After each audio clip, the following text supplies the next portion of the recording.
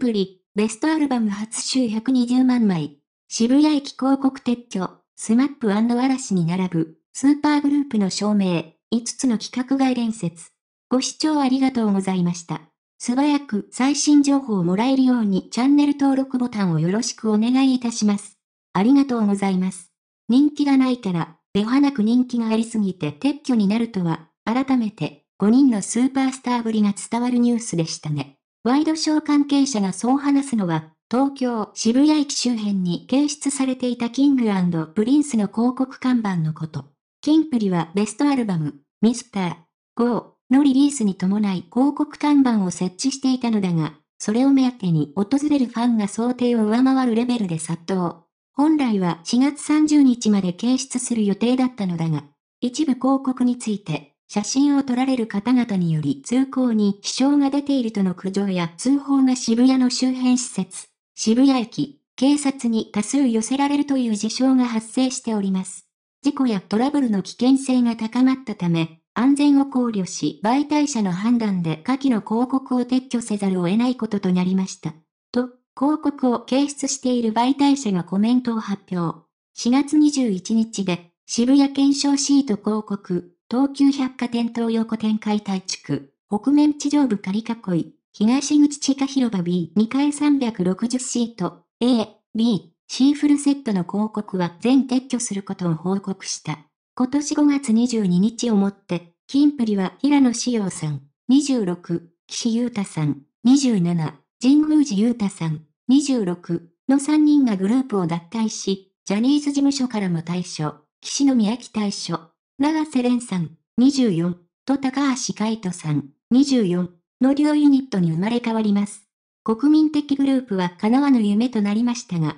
スマップや嵐の後継者としてキンプリの名前が出ることも珍しくありませんでしたね。全道、キンプリのポテンシャルの高さがわかるエピソードの一つに、大きな目標をわずか5年で達成したというのがある。総再生数1億、2日でミリオン、達成も、キンプリがデビュー当時の2018年に放送された連続ドキュメンタリーライドオンタイム時が奏でるリアルストーリー、フジテレビ系で、平野は、誰がセンターになっても違和感のないグループになったら、最強なんじゃないかなってと話していたのだが、これを5年足らずで達成。多くの曲で平野がセンターを務める一方で、岸は、We Are Young、神宮寺は、踊るように人生を、長瀬は、トレーストレースで、それぞれセンターを担当。高橋の場合、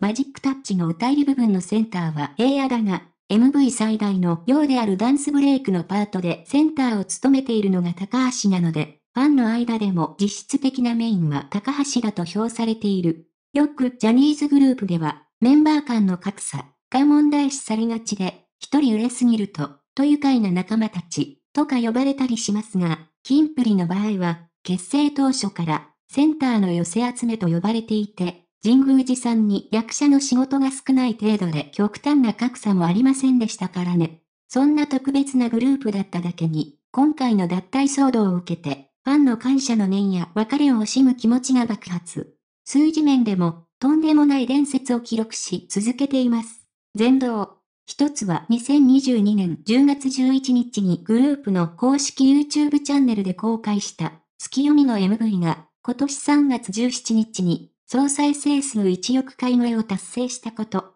これは、ジャニーズ事務所所属アーティストとして史上初の記録だった。その後もファンの勢いは止まることがなく、4月19日発売のベストアルバム、ミスター5は、発売して2日間の累計売上枚数が約103万枚。早々にミリオンヒット、オリコン、調べを達成。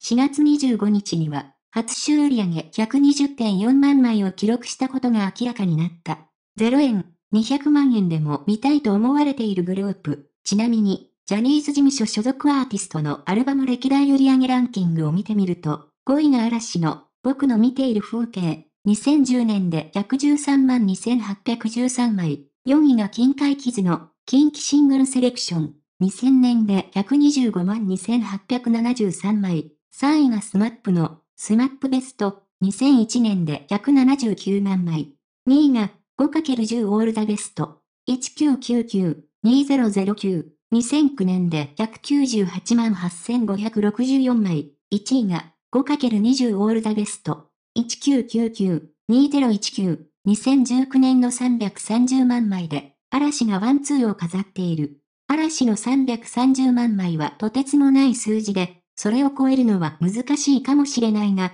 ペースを考えると、ミスター5が200万枚を超える可能性も十分に考えられるだろう。また、手放しに喜べる話ではないんですが、4月18日放送の歌コン NHK でキンプリが渋谷の NHK ホールで生ライブをするにあたり、とんでもないお金が転売騒動で動いてしまったと言います。4月13日に、週刊女性プライムで報じられたものですが、本来、歌コンは NHK の受信料を払ってさえいれば誰でも無料で観覧可能。応募が多くて抽選になることはありますが、お金はかからないのに、前室のワイドショー関係者。当然ながら NHK 公式はチケットの転売行為を禁止しているのだが、ネット上では転売が横行。記事によると、1階 C2 列目の席が200万円、1階の前方は80から90万円、後方や2階席は40から60万円、3階席でも20から30万円程度の値段というありえない数字で販売されており、しかも